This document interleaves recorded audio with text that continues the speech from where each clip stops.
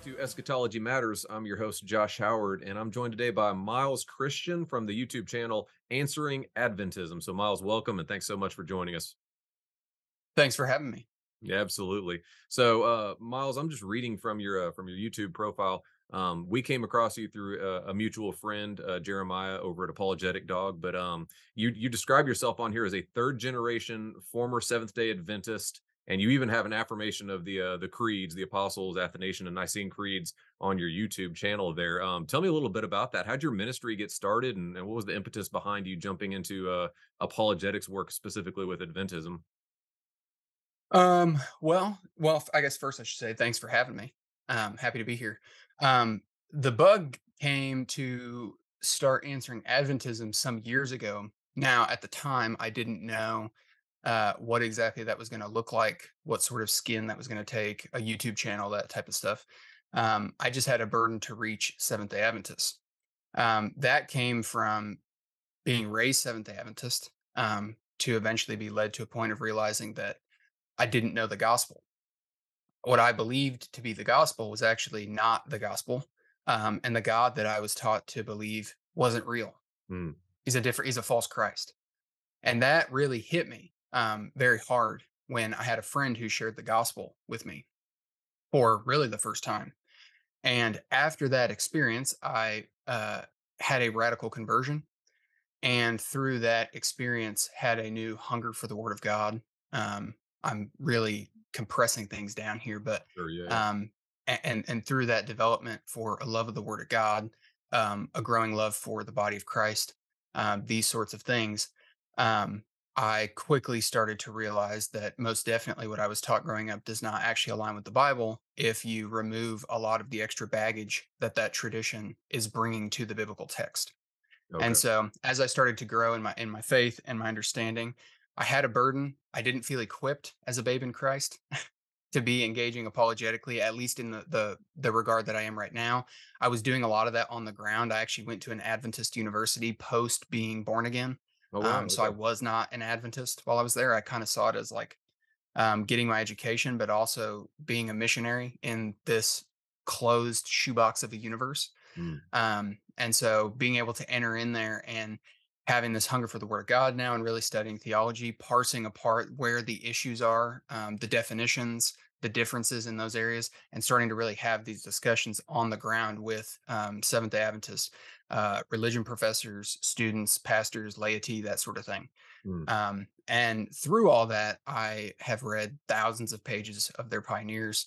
Um, I've studied the system um, in its systematic representation, yeah. Um, if you will, and have compared that with other theological systems, that sort of stuff. And so, after years and years of doing that, um, the idea of a YouTube channel kind of arose. I wasn't really uh, camera savvy or uh, not even really comfortable recording myself for that regard. Um, but I thought, you know, YouTube channel could be a great way. And so the Lord has just kind of led in that to uh, where I'm at now.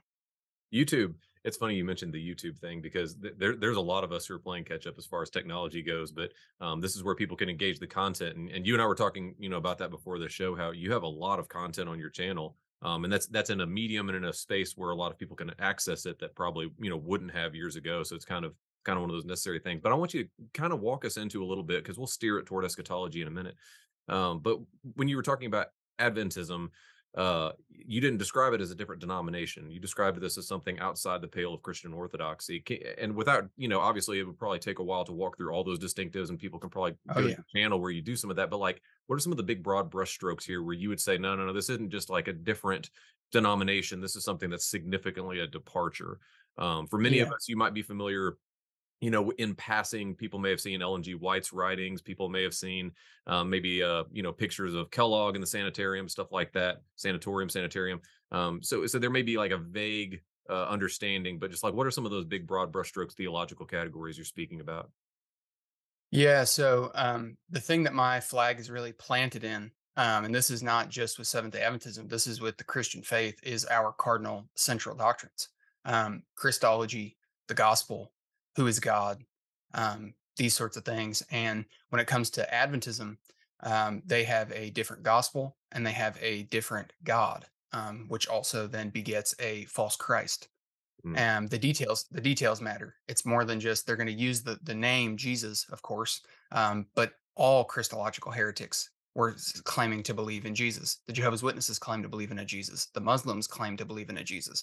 Um, but all of these Jesuses contradict one another. So these details actually matter. And since Paul warns about false gospels and false Jesuses in Second Corinthians 11, 1 through 4, um, that begs the question there are false Christs mm. there are false Jesuses out there, and so the details do matter. And so that's going to be the the two big ones. But then um, the third big one that I know there's going to be a lot of Adventists out there that are mad about this, but um, my my position and my channel is always coming from the standpoint of the organization and its official stated beliefs. So I understand that there are Seventh Day Adventists out there that are going to disagree with this, but from the standpoint of the official stated beliefs of the organization, Mm. Ellen White functions as an infallible interpreter over the scriptures.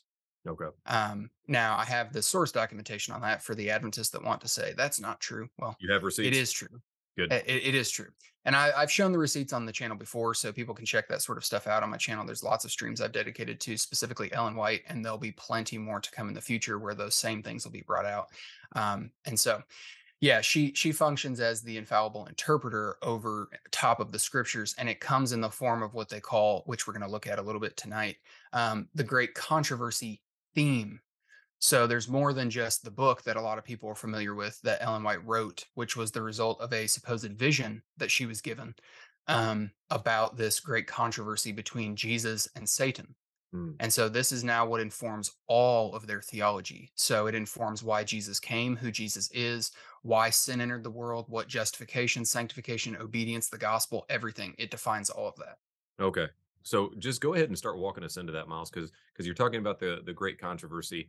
Um, I don't think one of the one of the reasons I was looking forward to this interview was um, I don't think I was going to have to steer the conversation toward eschatology. I think that's just going to naturally come out from your description of this, from what what you've been saying. But when we think of you know Christian, the Christian faith in general, and especially within the Reformed streams, we would describe kind of an eschatological flow of Scripture. A lot of people would would look to that theme, that fourfold theme of creation, um, fall, redemption, and then consummation, right? Like that kind of overarching flow of, of scripture. Um, walk us into then the great controversy and specifically how the SDAs would view kind of that overarching uh, view of, of the biblical storyline. So yeah, I'm going to share my screen here and walk you through what exactly this great controversy theme is. So this was written by a guy by the name of Herbert Douglass. He was, well, as you see here, he's the retired president at the Weimar Institute, which is a um, within the Adventist world, it's a very prestigious Adventist institution. Um, and so this paper is from Ministry Magazine 2000. Ministry Magazine is what the Seventh Adventist Church sends out to their ministers or clergy. Um, and so this was from the December 2000 issue, and it was titled The Great Controversy Theme What It Means to Adventists. So I'm going to read some of this here. Um, it's not super long, but I would like to get through all of it. We've looked at this on my channel before, um, but I think it will really give you the proper baseline and understanding when it comes to how uh, foundational it is to understand this, to understand the Seventh Adventist system and what they say when they say the words they do. So he says here for Seventh day Adventists, the GCT is the core concept that brings coherence to all biblical subjects. It transcends the age old divisions that have fractured the Christian church for centuries. It brings peace to theological adversities who suddenly see in a new harmony the truths that each had been vigorously arguing for. Herein lies the uniqueness of Adventism. The uniqueness is not some particular element of its theology, such as its sanctuary doctrine. So that's the investigative judgment in the sanctuary, which is a novel doctrine to them born out of the 1800s. Hmm. However, he rightly recognizes and states here that that's not just what makes them unique. It's this great controversy theme. Rather, the distinctiveness of Adventis- Adventism rests in its overall understanding of the central message of the Bible that is governed by its seminal governing principle, the great controversy theme. Every philosophical or theological system builds on a central governing theme or paradigm. Its central theme becomes that system's core truth and determines all of that system's principles and policies. Then he gives an example here of Stephen Hawking. Stephen Hawking, the remarkable Cambridge physicist, wrote in his 1988 book, A Brief History of Time, that should science should scientists discover the long-sought theory of everything to explain the varying mechanisms of the universe, we should know the mind of God. Seventh-day Adventists have been given that. Notice, they've been given this. Hmm. A perspective which provides a theory of everything it introduces us to the mind of God. We didn't discover it, it was given to us. We call it the great controversy theme. How we understand this core theme directly affects how we grasp the intent of biblical writers when they used words such as righteousness, salvation, gospel, etc. The Great Controversy theme helps us work our way through centuries of theological confusion over the meaning of such realities as justification, sanctification, atonement, obedience, and works. Without the Great Controversy theme, all would remain divided over such subjects as the importance of the Old Testament sanctuary service and the New Testament view of Christ as our high priest and mediator, the meaning of faith and grace, the place of obedience in relation to legalism, why Jesus came the first time, why he came the way he did, and when he will return. Hmm. So, as you see here, the Adventist eschatological framework sets us apart from every other denomination that speaks of the end of the world because it is governed by the great controversy theme. The distinctly Adventist, or uh, yeah, the distinctly Adventist view is formed by a mutually supportive cluster of ideas. This is a very in, uh, key word to understand when listening to Adventists speak this phrase mutually supportive cluster. We're going to get into some of those, Josh. Yep. Including conditional immortality, Seventh day Sabbatarianism, a premillennial historicist eschatology, acceptance of the gift of prophecy in the ministry of Ellen G. White, teaching about the priestly work of Christ in the heavenly sanctuary, and a prepared people by his grace. Another one of those buzzwords, a prepared people. That is uh, sinless perfectionism. Okay. That's a people who have gotten to a point through the help of the Holy Spirit where they've had enough grace imparted to them to where they've now reached a sinlessly perfect state and they're prepared for the new earth and demonstrated that they'll be fit to be let into the new earth, demonstrating that they won't let sin enter heaven again like Satan caused sin to enter heaven. again. Okay.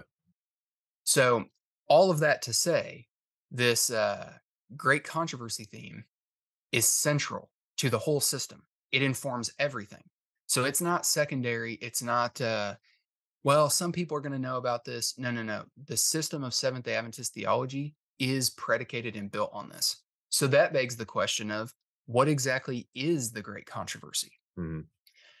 The Great Controversy is a book written by Ellen White, which is the result of a supposed vision that she received from God. So when they say they were given this, that's who they were given this through, supposedly. It's coming from Ellen White, who was supposedly a continuation in the chain of prophets of old, now revealing what they would call present truth. It's further light and revelation for this present time. And it's coming through Ellen White. So their defense of the prophetic gifts and continuationism is another core aspect and component because without that, they're not going to be able to have the great controversy theme right, because it's right. essentially coming from Ellen White. So it is a book, but as you saw, it's also a theme. Well, in that book, Ellen White explains how this great controversy supposedly started and what exactly it is. It is the idea that in heaven, prior to the creation of earth, you have a huge who who knows amount of time prior to the creation of the earth. So it's very similar to Mormonism in this regard. There's a pre-earth origin story. Okay. In this pre-earth origin story, the thing that started the controversy was the exaltation of Jesus to be made equal with the Father. He called together a heavenly throng of angels, the heavenly host of angels, to make this announcement. I'll actually uh, read you a, a quote here so we can actually get the uh, the correct sources on this. So this was in The Spirit of Prophecy, Volume 1, page 17, which is a series of books as well. Ellen White was a very supposedly prolific author. She was also plagiarizing a lot, but nevertheless, um, thousands and thousands of pages. Miles, so this is from the just series. for just for a clarification, what time frame are we talking about here with Ellen G. White's writings? Well, they they it's it spans. I don't know the exact date on the writing of the Spirit of Prophecy series. Okay. I can get that for you really quick if you want me Uh, to. general, uh, general, general, general, uh, broad brushstrokes. What like It's it's it, uh you're talking uh eight late 1840s through all the way to 1910. Okay, very good. Thanks. So this is not towards the end of her life though. I I'm not going to guess on the on the date, but it's it's going to be the 1800s portion. Um, this is Spirit of Prophecy, Volume One, page 17. So the start of this book, this is the very start. Um, and she's talking about this event that starts this great controversy. So she says, quote, the great creator, that's the Father, assembled the heavenly host that he might, in the presence of all the angels, confer special honor upon his son. The Son was seated on the throne with the Father, and the heavenly throng of holy angels was gathered around them.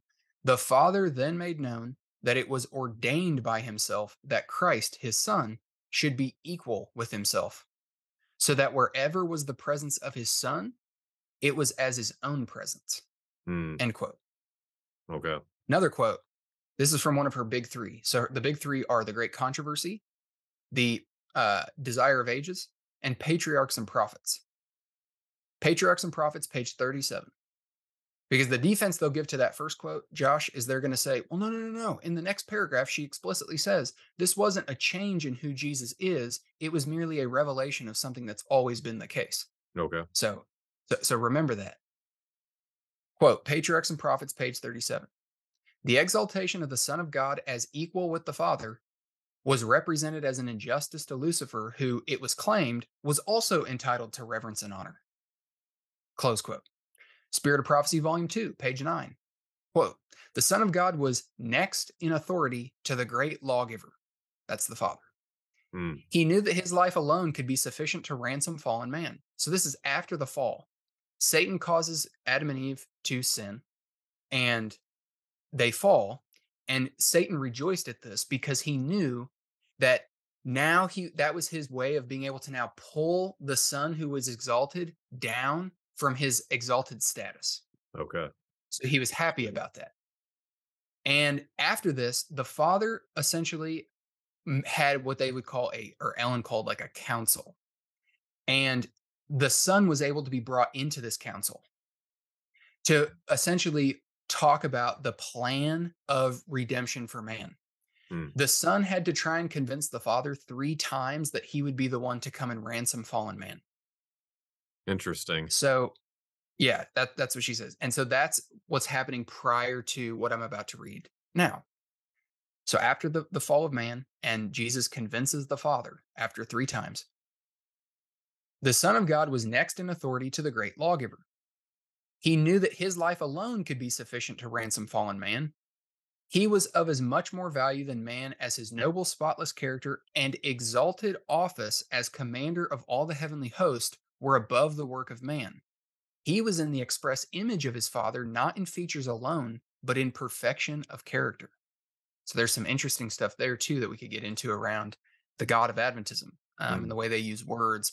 They believe um, that they'll say they believe the Trinity, but what they actually believe is that God is three corporeal, physical, tangible forms, and being made in the image of God is your physical representation. Okay. And so when they use the term person, they use person and being interchangeably. And they'll say, yeah, we believe in three persons. But they're not meaning the ability to will, self reflect, show emotion, speak, be spoken to, et cetera, which isn't necessarily contained to a physical uh, being. right. Spiritual beings also have that ability. Um, so that's not something unique to having a physical form. But this then gets into their physicalism and the fact that they're monists. Um, so this is how you're seeing all this stuff is really interconnected through this great controversy theme. In order to make all this stuff work, that has to be what then informs the way that they define everything. One last one here, it's short. This is from just to show that this is a she a consistent message that she was saying about the great controversy and how it started from various points in her life in various different writings. This is Testimonies for the Church, Volume 8, page 268. God is the Father of Christ. Christ is the Son of God. To Christ has been given an exalted position, not a mere revelation of something that already took place or that was already the case from eternity past. Hmm.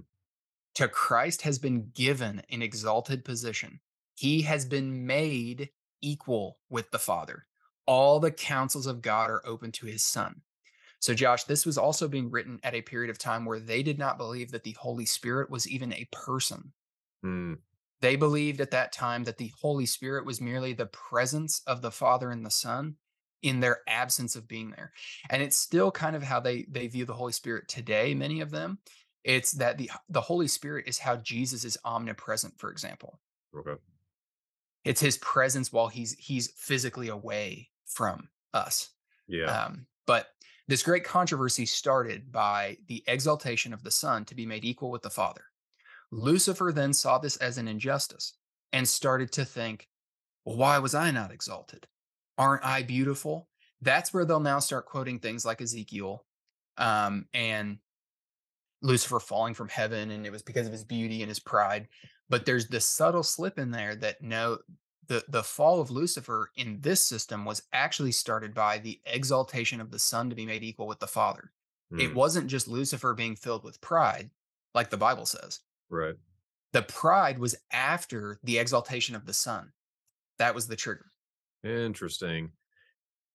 It's really interesting on on you describing this. Number one, I'm I have a, about a thousand questions, but but it's it's a cosmology, right? Like you you know you were mentioning the that clustering of of teachings at the at the outset of this this recording, and yet now you're moving into it, and it's not just an eschatological forward looking thing. This is building like an entire cosmology outside. How prevalent is this?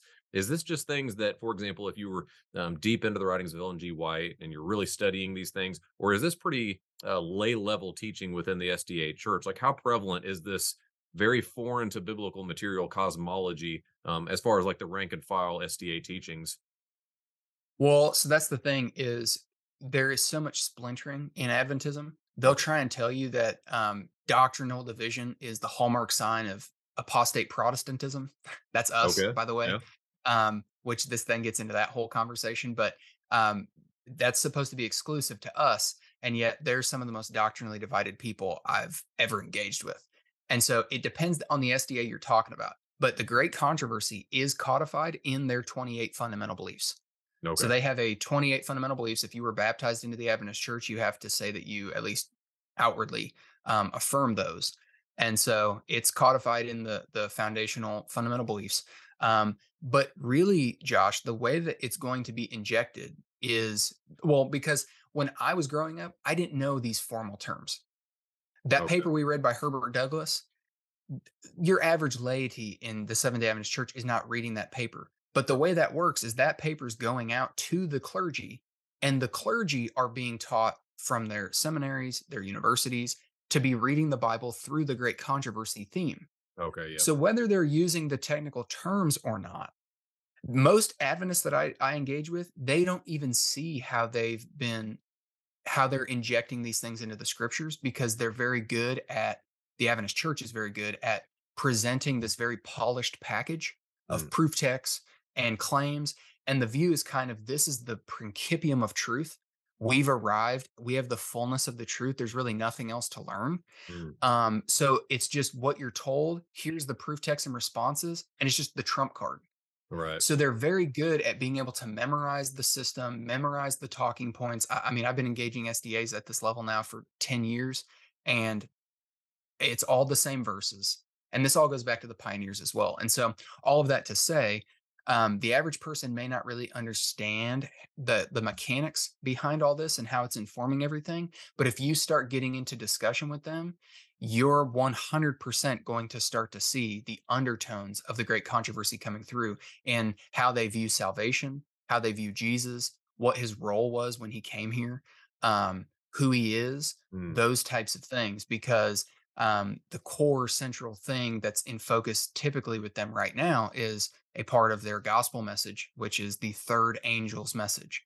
Um, they have a three angels messages gospel, uh, which I have done a series on my channel. If people want to check that out to get a pretty quick breakdown of of that whole thing. Um, they call it the everlasting gospel. They've taken this phrase from Revelation 14 6. And you'll notice in Revelation 14 at the beginning, there's three angels. Um, well, they've read all sorts of stuff into these three angels via Ellen White. And it's these three angels' messages that they think they've specially been tasked with to take to the world. And the third angel's message is the warning, the final warning. You need to come out of apostate Protestant and, and Roman Catholic churches and come join God's last day Seventh day Adventist remnant, Mm, or you're going to get the mark of the beast. This is coming from the great controversy. And okay. all Adventists are going to know this because a lot of them were won to the Adventist movement by this message. The third angel's heralding of get out of these churches. They're Babylon. They're going to have the wrath of God poured out on them. You're going to get the mark of the beast, which is going to church on Sunday. Um, that's the papal Sabbath. Okay. And you need to keep God's seventh day Sabbath um, if you want to receive the seal of God. So there supposedly is going to be a Sunday law that comes down the pike that's headed up by the papacy in a threefold union between Rome, um, apostate Protestantism, and spiritualism, and basically the whole world is going to form this pact and make a Sunday law. And we're going to hunt down, supposedly, you and I, especially people like me, former Adventists, Yeah. we're going to hunt down by government demand um, Seventh day Adventists for going to church on Saturday, and we're going to kill them.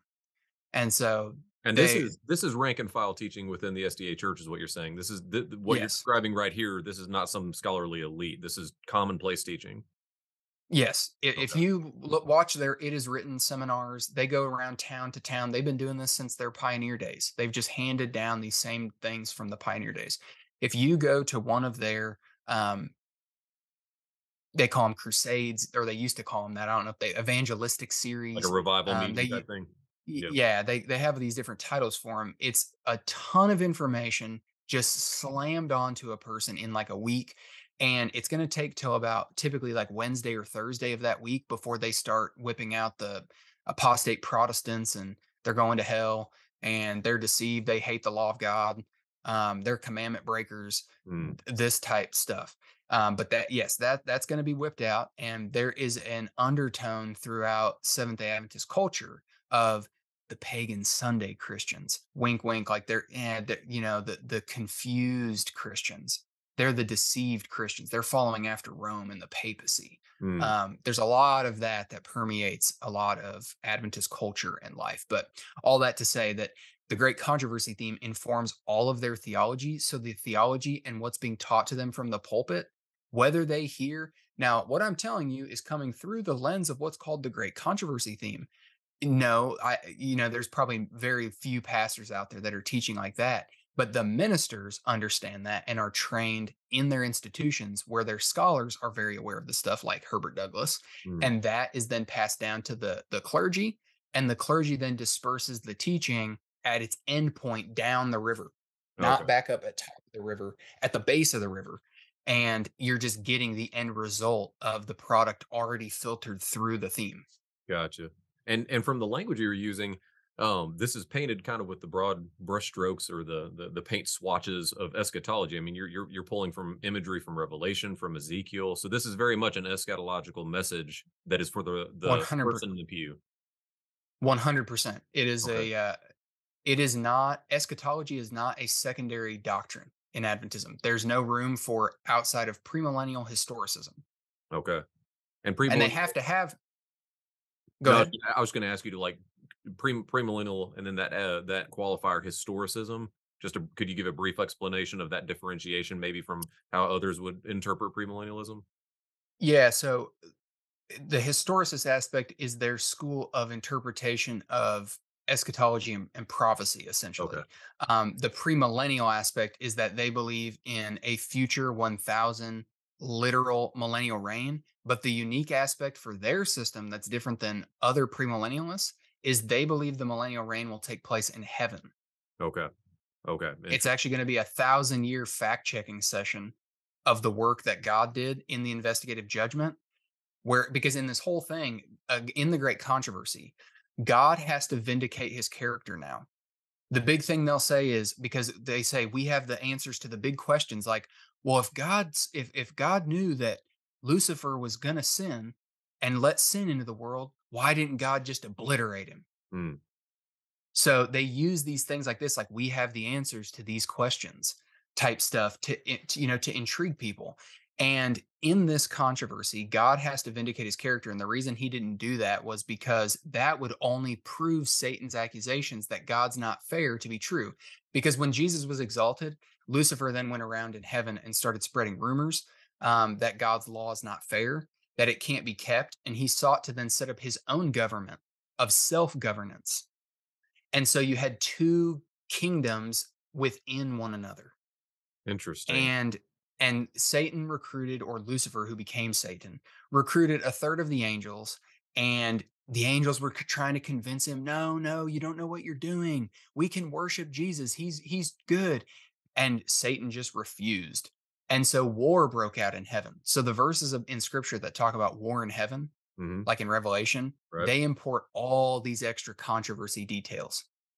So Satan was then booted from heaven and sent to earth, and then that's actually when the uh, the whole fall of man that I was telling you about earlier. That's where that then picks up. But in this is this accusation that God's law can't be kept, that He's a tyrant and it's not fair. So the whole war that's going on in this great controversy is between you either believing God or believing Satan. It's the very stereotypical like angel on the shoulder and demon on the other man's kind of like neutral, being like pulled in like two directions, and you Mm, just have to make a choice. Who are you going to, you know, stand with in the controversy? okay. That's kind of the message that's going on. And so part of that then influences what they think about why Jesus came and what the gospel is.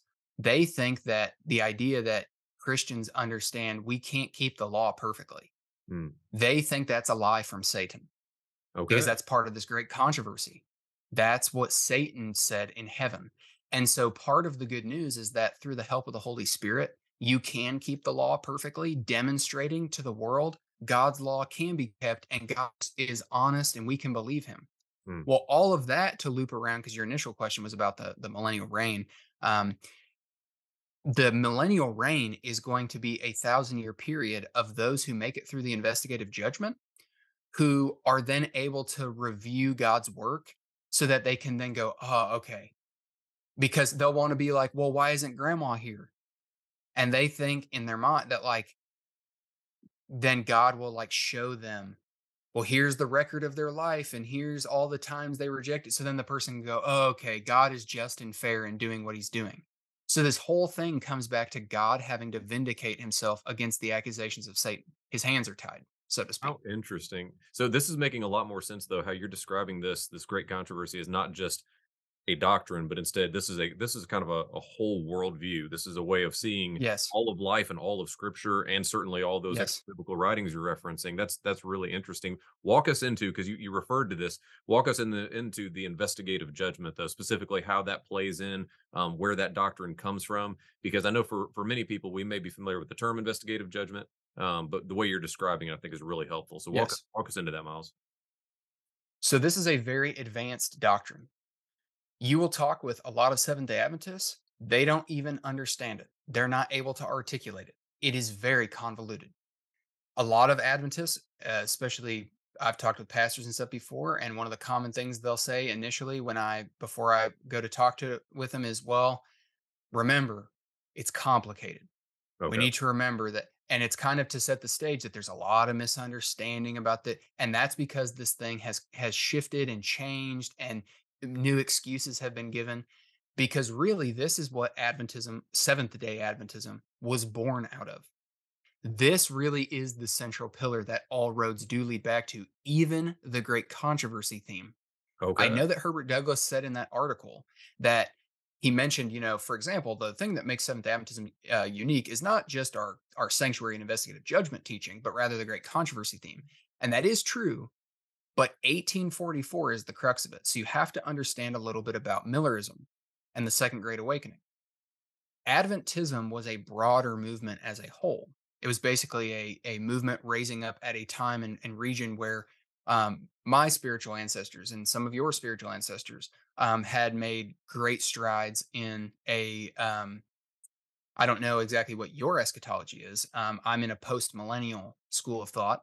And so it was an area and region very heavily influenced by the, the Puritan, uh, post millennialist ideology that the here and the now really matters, really establishing your roots, covenantal succession, those types of things. hmm So Miller coming around with an imminent return of Christ message um, was not like it is today. It was a very anomalous, kind of like my view today would be the anomalous one for for most people. Most people tend to be doom and gloom in their eschatology, um, but nevertheless, nevertheless, um, Miller was essentially preaching the return of Christ being imminent.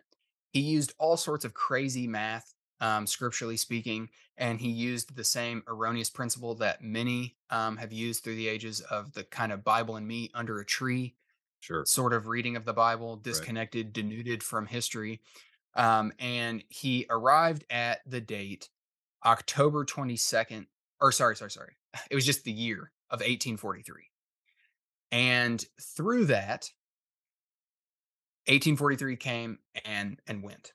How did they arrive at 1843? Or how did he? The central pillar verse for that was Daniel 8:14. Okay.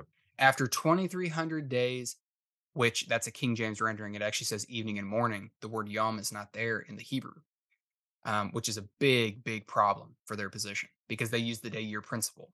Hmm. And so, using the day year principle with Daniel 8:14, he and, and a bunch of other math, um, he arrived at the year 1843 for the return of Christ. That came and went. In the spring of 1844, they continued and said it was it, they were off by a year um, because uh, I've seen some people say that it was they were saying um, they didn't account for the year zero, and so it, oh we were off by one year. Well, in the spring, um, a crazy crackpot of a guy named Samuel Snow who believed that he was the reincarnation of Elisha the prophet before the second coming.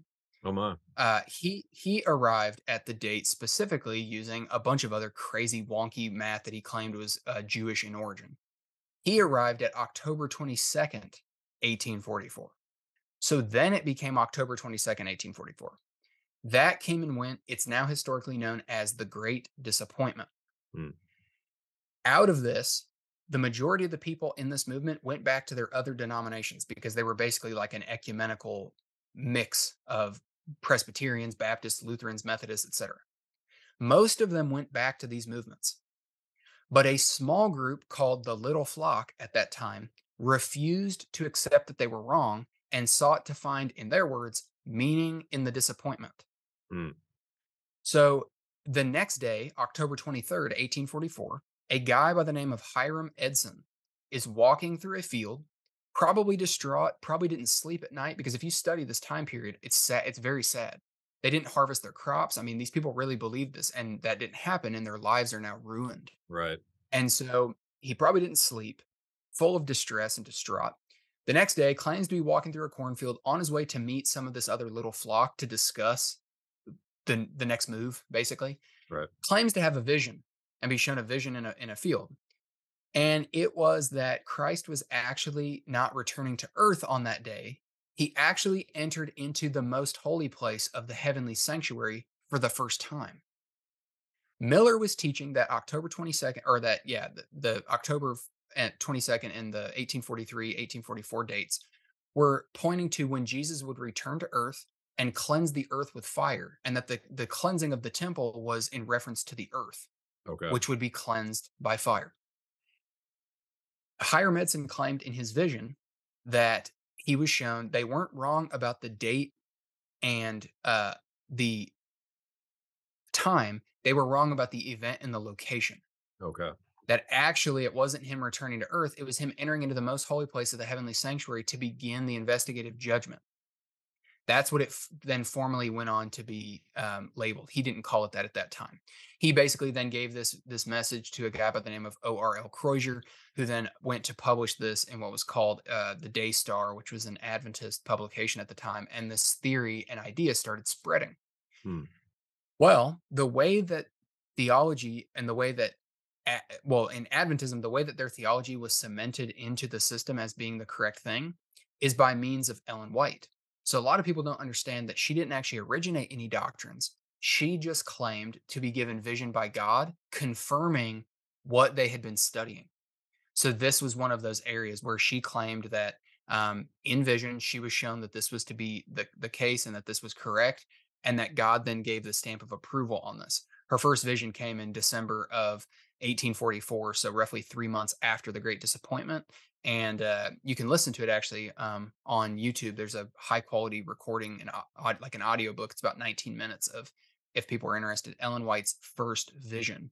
Okay. And so that's what it's essentially in part discussing. The second vision, which is actually the most problematic one, um, it it further uh, supposedly confirmed the investigative judgment of Jesus getting up from the holy place and entering into the most holy place. So that's in a nutshell where it came from. I know that that was a, a lot there, but Right. that's in, in that's in in uh, a summation where it's essentially coming from, and then the stamp of approval coming from God. Now the question is, what is the teaching? Well, Desmond Ford, um, the late Dr. Ford, was a um, Seventh day Adventist pastor who essentially was disfellowshipped um, due to his views on this specific doctrine. And Mhm. so he wrote that massive of a book dealing with the investigative judgment. So, as you can see how thick that is, um, this is a very complex doctrine. So, I will give you kind of the overview here. Um, I'm not obviously going to give every single jot and tittle in detail. I also point to this book as well because in there he points out how it's evolved over time. What it what they were saying in the 19th century compared to the 20th to the 21st, there's been an evolution and there's still people in the midst who still maybe oh, and I hold to the 19th century idea and version. Okay. Oh, there's some that believe some of the changes from the 20s. So it's such a mix now. That's why it's so confusing for um, many Adventists, I think, Right. because in order to keep this thing alive, they've had to evolve and whatnot over time. And so, with that said, let me read to you a brief overview and steelman of what the investigative judgment is. And then afterward, I'll be happy to, because like I said, I know that this is kind of a lot. And afterward, I'll uh I'll see any sort of questions that you Miles, have. just to But frame this again, what you're what you're saying is the we were look we were looking earlier at the great controversy, but the great controversy teaching this is flowing from what we're talking about here with the great disappointment and the investigative judgment. This is kind of the fountain from which those other things flow. Is that correct? Really, it is because if 1844 is falsified, then the movement's built on a lie. You don't even have a great controversy vision if 1840 you know, 1844 was the response to the being wrong gotcha. and the the the solution to oh no we weren't wrong. So Right, this you have to affirm all of miller's 15 proofs which they never discuss and talk about. The only one they'll ever talk about is daniel 814 which still the, the daniel 814 is not going to change you know? mm, it is what it, it says what it says and so right, they all the solutions they've tried to come up with because you have to twist it and you can't take it for what it's actually saying um, and you have to pour all this other stuff in, it causes you to now cause all sorts of other issues. So then they try and correct there, and it just continues to make issues. You. So yeah, it, it it really is all downstream of, of this because this was the response to the great disappointment. okay, If this is wrong and and God's stamp of approval isn't actually on this, Ellen White is a false prophet. Um, 1844 was a fraud, and the the people in the high echelons of the movement they they know this, they okay, understand this, and okay, so this is my steel man of the position, which is compiled from uh, a book of Ellen White's called uh, Christ in His Sanctuary, and it's from chapters seven through nine. So this is it in a nutshell. There is a sanctuary in heaven. They are physicalists, by the way. So they believe that heaven is through Orion's belt because that's what Ellen White said. Okay. And if if you were to travel up there and go through it, you would actually arrive at heaven. Like in a spaceship, Um, one could just travel straight up through. uh, essentially, Okay, yeah, because it's through Orion's belt. It's not. Uh, it's not Well, they're they're they're physical. It's like all of reality to them, there really is no immaterial reality. They'll say that they believe in spirit and stuff, but then when you start talking to them, um, I actually just did a stream on this. Uh, I'll save the, the words there. I just did a stream on this on my channel if, if people are curious about the physicalism of Adventism. But I say that to say when they say there's a sanctuary in heaven, they believe that what was on earth was only a scale model of what is actually up in heaven. okay, So it's this physical building it's identical to that of the earthly in that the one on earth was a scale model. They claim that in 1844, Jesus entered the most holy place of this sanctuary for the first time to begin what they call the investigative judgment. Prior to this, he only entered into the holy place of that sanctuary to do a work of intercession analogous to that of the Levitical Aaronic priesthood, like in Leviticus 16. This is a core chapter of the Bible for them, Leviticus 16, the Day of Atonement. Okay. They also claim that this investigative judgment is the final phase of Christ's atoning ministry prior to the second coming. This is to say, the atonement was not complete at the cross, but it continues in heaven until this work of investigation is finalized. In this judgment, the record books of sin are opened and the lives of all who have professed faith come up in review before God. It is a judgment only for professed believers. That's a key part. It's a Okay. judgment only for professed believers. The wicked, according to their theology, will be investigated and judged during the thousand year millennium. So that's kind of some of what I was telling you about earlier. It's not just going to be you fact checking God's work, it's also going to be you seeing why God is going to annihilate the wicked. That Okay. is just in the action that you're going to see take place. Gotcha. Beginning with the cases of the dead, spanning back to Adam and Eve, Jesus is reviewing the life records of every person who has professed faith in God. Every name is mentioned and every case is closely examined. When he finishes with one generation, he moves to the next. Once the cases of the dead are complete, he will move to the cases of the living. None know when this will happen. Anyone who has sins remaining upon the books of record, whether unconfessed or forgotten, will have their names blotted out of the book of life. Wow. Every sin must be confessed to be blotted out. The standard that all people are judged against is the Ten Commandments and their perfect obedience to them, especially the seventh day Sabbath of the fourth commandment. Some names of professed believers will be accepted, others will be rejected. When every person has come up in review, only then will Jesus plead his blood before the Father on behalf of those who are found worthy, and then blots out their sins from the record books. Then, brace yourself, Josh. Not knowing whether this work has been completed, those who are found worthy, still in their current human state, will have to stand in the sight of Almighty God without an intercessor. This is prior to the second advent. Oh my. Jesus will then take the sins of God's people and transfer them to Satan, who they believe is represented by the Leviticus 16 Day of Atonement scapegoat. Hmm. Satan will bear the ultimate responsibility for all the sins he has caused the righteous to commit, suffering for them in the lake of fire to eventually be b- blotted from existence, making Satan the final sin bearer. This completes the atonement. Wow. This then supposedly vindicates the character of God before all watching intelligences. So I'll note here they believe that there are all sorts of other intelligent life out there in the in and other universes and stuff like that, and they're all watching in on Earth at this controversy that's going on. This then will supposedly vindicate the character of God before all watching intelligences, and everyone will see the immutability of the law of God and his righteous character. So this entire thing is to supposedly vindicate God. Okay. And that's the doctrine in a nutshell. Wow. I'm I'm not even sure Yeah. how to respond to that one, Miles. There's so much you just said right there. Um, but so that are you seeing how it's a different gospel? uh, it's it's a it's a whole different uh like I said, this this is like a completely um foreign worldview. It's a it's a foreign cosmology, it's a foreign worldview, but that's very interesting how that flows into that that investigative judgment. How how commonplace is that understood? Because I'm very interested how how person in the pew this is hitting those who are in SDA circles. Is this something that's widely? I know you said it's uh held by varying degrees and there's there's confusion between different people but as far as as far as the the broad brushstrokes of what you just walked through is that pretty widely understood by sdas I wouldn't say that every bit of that is. uh, Like I said, I went and systematized that from Ellen White's book herself. I've read Christ in His Sanctuary. It's only like nine chapters. I've read it like 25 times, probably.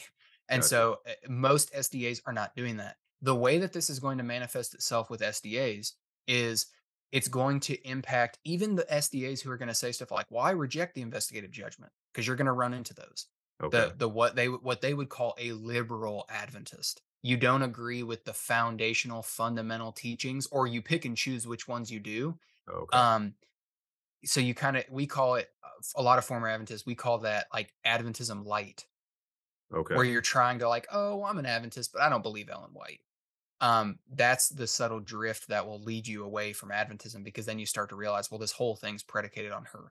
The way that it's going to make itself uh, seen, though, in the people who may not even know all the mechanics or even say they reject the investigative judgment is how they think they're reconciled to God. Right. That's where the subtle deception comes in. Right. Because in all of this, I can uh, read you a quote if you like. Um, so that's not all that she said about this investigative judgment. Um, this is Testimonies for the Church, uh, Volume 4, page 294. And uh, she says, quote, Man who has defaced the image of God in his soul by a corrupt life cannot by mere human effort effect a radical change in himself. He must accept the provisions of the gospel. He must be reconciled to God through obedience to his law and faith in Christ. His life from thenceforth must be governed by a new principle. Through repentance, faith, and good works, he may perfect a righteous character and then claim, through the merits of Christ, the privileges of the sons of God. Mm.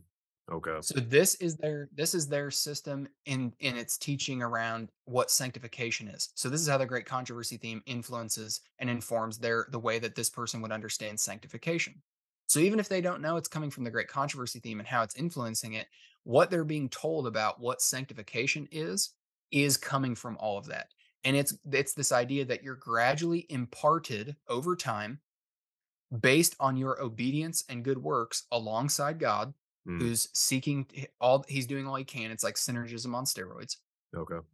is gradually imparting to you grace that is eventually trying to get things like this All right.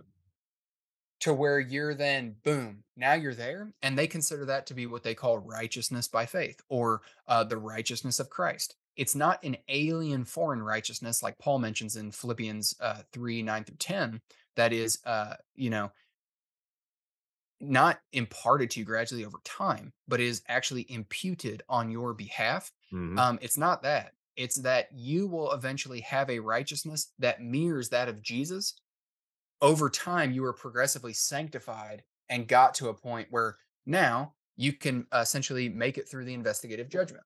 Okay. Because in the investigative judgment, you have to um, pass this thing, as you heard, with not a single sin on the record books. I think that was the The part. Yeah, problem, I felt myself so sucked in by your narrative there. I, I didn't even know what to say because I was hearing you talk about standing before God with no mediator. That language is just so striking. But in but in SDA yeah, teachings, then that is kind of the eschatological fruition of this is where you stand before Almighty God and yet with no mediator. Yep, because after this investigation investigative judgment is done, the period of probation has ceased. So they have a whole doctrine around probation. Okay. That the good news is that probation has been extended. That was part of their shift as well from 1840 uh from the the whole this narrative being born.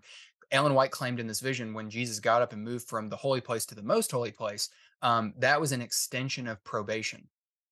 God could have just laid down the hammer and it was over, but he wanted more people to be saved.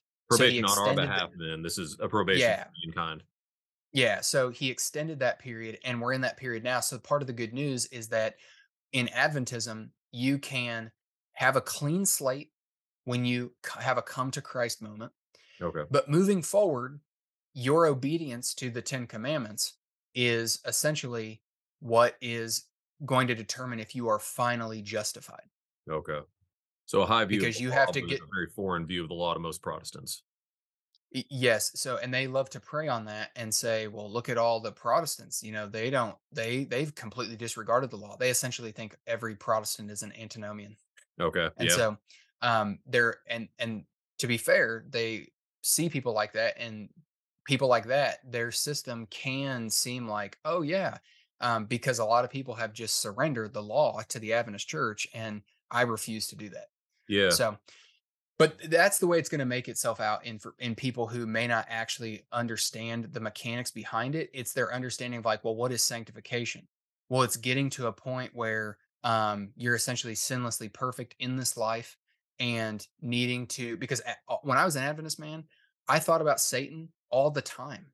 I was Really? constantly thinking about Satan. I I can't tell you how many former Adventists I've talked to too, and it was the same thing for them as well.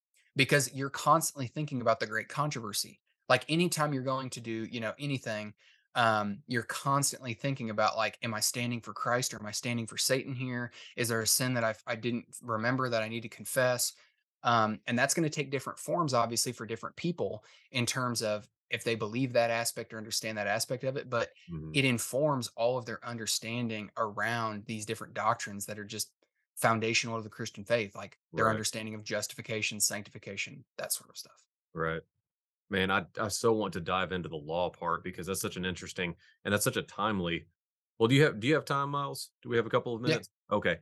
Just just real quick, because I do want to get into the three questions specifically in in relations to the full preterism kind of uh kerfuffle that's been going on in those three kind of orthodox questions that were floated. But but walk me into the law a little bit because um there there's an ongoing discussion right now about the the application of God's law, whether God's law is still applicable. Um, there's been a a pretty uh current as of the time of this recording a pretty current um debate going on online as to whether God's law is still applicable, whether God's moral law is abiding, whether uh, the Ten Commandments, for example, and you've mentioned Sabbatarianism several times, but like whether these things are eternal and eternal reflection of God's will that that uh, governments and rulers do well to submit to, specifically because it's God's will for nations and for people.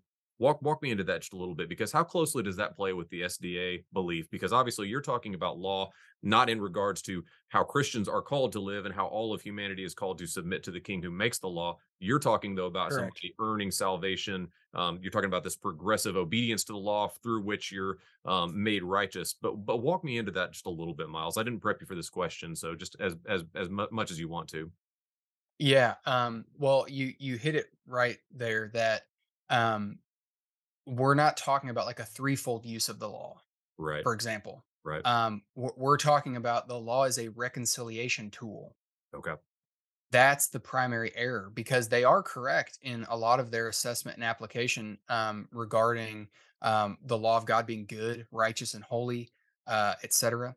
Um, And the when they say law, becomes Miles, when they say law, are they thinking a monolithic structure of the law, or that you said not a tripartite division, so we're not thinking threefold use of the law, but you're thinking of just one whole whole uh, item? well, so they would agree in the sense of like uh, ceremonial law, moral law, etc. Okay. Um, but what I mean by that is when we oftentimes talk about a threefold use, we're talking about Threefold use, um, not not not tripartite division. I got you now. Yep. yeah yeah a, a threefold use of the law Gotcha. um they they also when they use the term the law they're referring to the 10 commandments Okay. so they believe that there was a distinction between what god gave moses and what moses gave the people all the rest of everything outside of the decalogue was given by moses and that was written on parchment and put outside of the ark and the 10 commandments were housed inside the ark showing a distinction and separation between the two. Oh, that's the sort of thing and argument they're going to make um, which i've debunked that by the way on my channel um, showing that no that's that's not the case so if people are interested they can check that out but they mean the 10 commandments. Okay. and so the law goes back to the start of the great controversy. That's what satan started because they believe the 10 commandments are eternal. They're actually what's governing heaven so how angels are supposed to obey their parents and not commit adultery that sort of thing i don't know Mhm. but they think the Ten Commandments are um, in heaven. Ellen White claimed to see them there. There's a giant Ten Commandments statue up there, and that's what Satan started pointing at and accusing and all this stuff. But they believe the Ten Commandments are eternal, and um, e- I'm thinking now. Sorry, I'm thinking now back on what you were saying as well about theonomy. Um, they would probably freak out if they understood that discussion, and maybe some of their theologians and, and scholars do, they would see that as a further uh, evidence that their system is totally true. The apostate Protestants are trying to take over the government. Okay. They're trying to enforce. They're trying to enforce the fake papal Sabbath on everybody. They did the same thing in the 1800s when there were blue laws. Right. Um, the 18 1900s um, and they didn't understand really at all what the idea and thinking was behind that. It had nothing to do with reaching across the aisle and shaking hands with the papacy and forming a threefold union and all this other extra baggage that they bring. Um, but nevertheless, that's that's how they would view that. That they would say, "See, that's just more evidence. Ellen White was correct. We're about there. It's about to come down the pike. They're trying to take over and overthrow the government." And because they have this very like God's going to burn all this up, we're just waiting to get out of here. Type Mm. idea. And you Um, so the idea of you'd mentioned having a, a kind of optimistic eschatology. So their theirs is we could say a decidedly kind of negative eschatology in that sense. absolutely, Okay. without a doubt. Okay. Yeah. That's interesting Yeah. though that that that you were saying that they would react against theonomy because that makes a lot of sense from the picture you were painting though, as far as this is the these are kind of the mile markers of the end type thing. Um Yeah. Miles, I got to get to our questions. Um let me let me walk us into this because there's been uh, there's been a little bit of discussion as well, not only on theonomy, but also on uh, preterism and specifically full or hyperpreterism, however one uh, defines that. Uh, but there's been three questions that have been floated, and I was curious to get your take with uh, the SDA teachings, which are so inherently, as you've as you painted the picture, eschatological. You know, it's painting a whole cosmology, a whole system worldview of, of understanding these things, but specifically with an eschatological bent. Um, I was curious how they would answer these three questions. So typically, the three questions that have been listed are um, whether one can affirm biblically um, a future bodily return of Christ, whether one can affirm a future physical generation, um, general just resurrection uh, specifically, and whether one can uh, affirm that history concludes with the final judgment of all men. So, future bodily return of Christ, uh, future physical general resurrection, and then a future uh, final judgment of all men. How how would an SDA theologian or or teacher answer those questions? They would affirm all of those. Okay, Big big time. Um, let me walk you through now. Um, each of each of those three. So good. they most certainly affirm the bodily return of Christ. That's they oftentimes love to point to that. Say it's in our name, Adventist. That's what Adventist means. Um, it's oftentimes what they try to use to shield themselves from criticism with Ellen White, the investigative judgment, the great controversy, etc., by just pointing to the words Seventh Day Adventist and Okay, acting as though the only thing that makes you an Adventist is, well, I believe in the seventh day Sabbath and the return of Christ. interesting. Well, well, no, man. That's just you're doing your co- the cop out of like that's that's not at all what only makes a Seventh Day Adventist. That would make Seventh Day Baptist, Seventh Day Adventist. Right. So it's like no, no, man, that's not. But anyways, they do affirm obviously the bodily return of Christ. Um, it's actually funny on this topic. Um, and I'm speaking from my own experience here. I'm not just talking out of the side of my neck. I've heard multiple people say this, but specifically university professors. This is actually something that they will they tell the students that the ad the Seventh Day Adventists are the only group that actually believes in the bodily return of Christ. Really? That everyone that everyone else has fallen into the trap of thinking it was a spiritual return, kind of like the full preterists do. Interesting. So Adventism very regularly, Josh, functions in a false binary. Okay. It's always their position or you're this. Okay. Yeah. And it was predicated on the region, like I was mentioning earlier, that this movement was born in, um, and how you didn't have internet at that time. So it's oftentimes the other position is one that may have been popular around that day and age in their region. Hmm. So that's the other that people are oftentimes caricatured as as holding to as the opposite to the Adventist position. And so there were a number of people at their time who were saying, and I I think the Adventist pioneers were not correctly understanding what they were reading. Um, it was partial preterism, and it was the idea of Christ returning in judgment in AD 70. But that those same individuals were not full preterists, saying that was the second coming of Christ but that that was Christ coming in judgment on that generation, um, as well as groups like the Jehovah's Witnesses, who were on the rise at the same time, who also came out of the general Adventist movement, um, who believe in a spiritual resurrection. Okay. So, because that was like a heavy influence at that day, it's been carried down to this day, this sort of straw man caricature of other Christians. Um, but yes, they they do say that, and I had a professor who I had to have a discussion with afterwards and say, "Man, that's not true. I'm not an, you know, and I, I'm not an Adventist. I told him, and we got into discussing this, and it's like that's like not true at all. This is like a foundational, fundamental, orthodox Christian. Te- I mean, it's Right. in the Apostles' Creed. Right. Like th- this is like a foundational, fundamental. So it's just kind of bizarre to to be telling people that. Um, but nevertheless, um, it's at this return, the second advent, that those who are alive and have made it through the investigative judgment and we're able to stand before Almighty God without an intercessor. Um, oh yeah, we we kind of got sidetracked there, but when the period of probation ends, then there's going to be a courtroom scene where Jesus is standing and advocating, and Satan's going to be there accusing. Okay. You're This is not in going to the be there. investigative judgment scenario. this is after the investigative judgment, Okay. Okay. Gotcha. right? But this is but after the investigative judgment, but before the second coming. Okay. I'm with you. There will be a period where there's going to be a courtroom scene where Satan is going to be in there accusing God's people, but Jesus is going to be able to show that he's just and able to save them. Hmm. All their sins were confessed, so God's completely fair, which that will then silence the accusations of Satan. Hmm. in this period is when you're going to have to be able to stand before Almighty God without an intercessor because Jesus is going to move from being an intercessor to the advocate in this courtroom scene. So, after you've made it through the investigative judgment and you were able to stand before Almighty God without an intercessor, meaning you uh, attained to sinless perfectionism, you will be translated, which is their version of like in the twinkling of an eye, you'll be changed Okay. Yeah. and you'll be taken to heaven where the millennial reign will happen in heaven not on earth for a thousand years and the dead that are that are uh, that made it through the investigative judgment the righteous dead they will be resurrected at that time as well Okay. and taken the the wicked dead will remain in the grave for the second resurrection Hmm. which will be the resurrection to condemnation Okay. Yeah. so the dead that made it through this judgment will also be resurrected and translated, and then those that are alive will be translated and they'll be taken to heaven for the millennial reign. And the millennial reign, in their view, is like I said, is basically this like fact checking session, um, fact checking the work of God to see like, okay, he's just, we can trust him.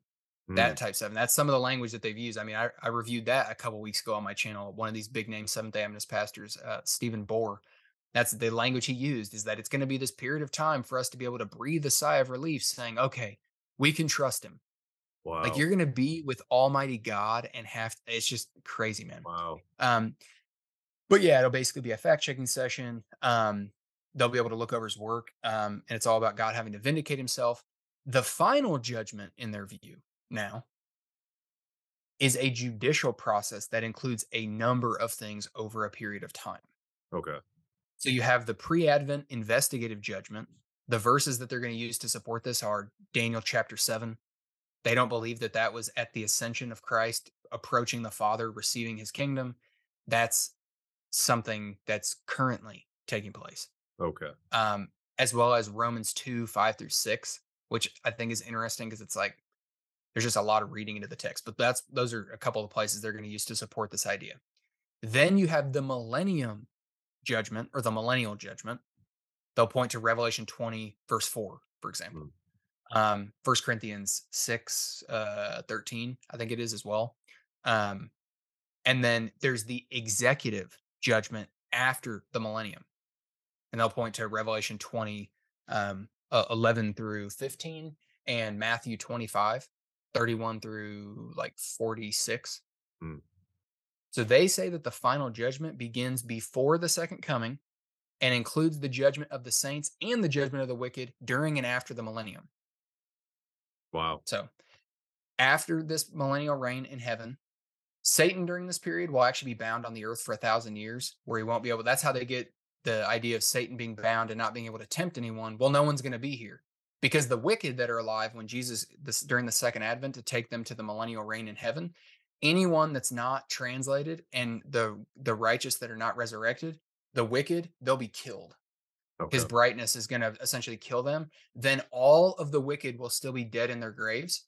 The millennial reign will happen, which is in a this fact checking session, but also the saints who are there doing that fact checking are also going to be judging the wicked. They're going to be looking over these books to see that God is just in this annihilation that's going to take place. Hmm. So then, after the thousand years is over, they will return and the New Jerusalem will descend from heaven. There will be the resurrection of the wicked, where Satan will have been here for a thousand years, bound. He will then lead the charge with this wicked resurrected, those that have picked his side. And it will be like the final c- cosmic collision between Christ and Satan. And they'll be, as they come and try and overthrow the New Jerusalem, they're going to be obliterated with fire and be annihilated. And then there'll be new heaven and new earth. So yes, but with a asterisk beside it. Yeah. Yeah, because there's all this extra. And again, you're going to get Adventists, man, who think that this is the area they're going to want to talk about. Okay. They think they've cracked every code, every number, every sign, every symbol. It's uh, unquestionable. Their eschatology, they think, is just bulletproof. Um, it's going to come from that standpoint. This is an area where they're going to be chomping at the bit because this is the stuff that your Adventist, general Adventist, they're going to know these things. Now, Oh, again, it's funny because it's funny because um, that investigative judgment is a part of all of this, but many of those same people will tell you they reject the investigative judgment, yet they believe about the millennial reign the same. Well, all this stuff is a system. You can't Yeah. just pick and choose, it's all connected. And so, a lot of people I don't think are able to kind of catch it at that level, or they're not thinking maybe systematically like that. But nevertheless, uh, yeah, it's it's got a bunch of added details, and it's all predicated off of this whole controversy around Christ and Satan. That then that becomes the accumulation of uh, um, yeah, the the scapegoat, for example, with with Satan is he's supposedly kicked off the mountain with the blood placed on him, where he's then kicked down to the earth and that's the uh that's typological of what they think uh is happening in Leviticus 16 is um the lots were cast which is a problem for their position Mm. um and the lord's goat was Jesus but the scapegoat is Satan. And they say that this is because he's ultimately responsible for sin. And so they say that the scapegoat typified responsibility which is a key aspect but the text says nothing about responsibility. It talks about um, essentially expiation the Right. removal of sin from the the, the people. Um, and so they think that that essentially happens with Satan because they say there's no way that Jesus could be the scapegoat. Look, there's still sin in the universe. Sin's not been done away with. That will happen when uh, the sins are placed on Satan, who is kicked off of the mountain, which is what the the priest would do or the fit man would do by leading the scapegoat out. And they'll oftentimes point to like apocryphal text to say, well, legend has it that they used to take them to a mountain and kick them off the mountain because they didn't want the goat to return to the camp. So that same thing is pictured for us in Revelation 20, where Jesus is going to kick Satan off of the mountain with the sins placed on him. Wow. And and he's going to be yeah essentially uh, annihilated but that's how sin is actually removed from the universe and part of the sinless perfectionism too gets into a little bit of what i was saying earlier about this idea that you have to demonstrate that you're fit for the new heavens and the new earth and that you can be trusted to not let sin ever enter again Mm. so unlike the book of Hebrews, Hebrews chapter 12, the end there where we have a contrast between Mount Sinai and Mount Zion and what makes Mount Zion better, um, one of the aspects of it is that it's an unshakable kingdom. The things that are shakable um, have essentially been well, well, in that final fruition in the new heaven and the new earth. The reason sin won't enter again is not because we can then be trusted to not let sin enter into eternity again Right. um, it's actually that Christ is a perfect savior. That's really what it comes down to, and that he's purified, make made all things new, and the the new heavens and the new earth will be an unshakable kingdom Mm. because of that, because Christ is ruling and reigning. And so um, it's a very, very different view in their system. Miles, we were talking before we started recording just about words and how to use words. I, I good grief, because that's that with the asterisk, how you can affirm these things, and we're using the same language and we're talking about the same events, and yet the, the picture you are painting is so much different um, than what we'd normally paint. I'm going to recommend uh, for sure people check out your channel. Remind us of the channel. Remind us where to follow you. Um, I know um, you've mentioned several different videos that you've done that kind of suss in some of the the the Mhm. uh, lines in between these doctrines. But where can they follow you, and where are you at? Yeah, so um, I'm in the middle of building answeringadventism.com. That will be live this summer, which will be a great resource for people. Predominantly the Q&A library section on the website, which is going to have hundreds, eventually thousands of claims, questions, etc., that you'll often hear from Seventh Adventists that the church makes, etc., with responses to those. Um, really kind of wading through all the fog and the haze for Christians, um, because that's really what my ministry is about. It's about uh, predominantly educating Christians Mm, um, because after having this discussion, you're now seeing the importance of we need to be sharing the gospel with these people. Right. They're not just evangelicals that go to church on Saturday and are potentially vegetarians.